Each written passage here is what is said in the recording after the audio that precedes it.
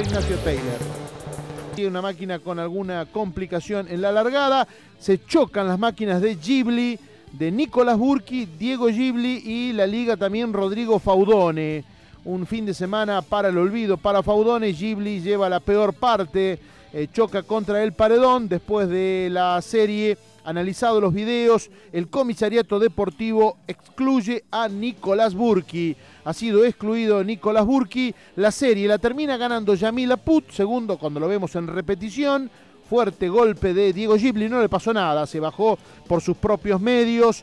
Inclusive él mismo ayudó a retirar el coche. Les decía, ganó Yamil Aput. Segundo, Ezequiel Bocio. Tercero, José Ignacio Taylor. Cuarto, ahí está, ¿eh? Ahí lo que yo les decía cuando se bajaba de su coche Diego Ghibli. José Ignacio Taylor.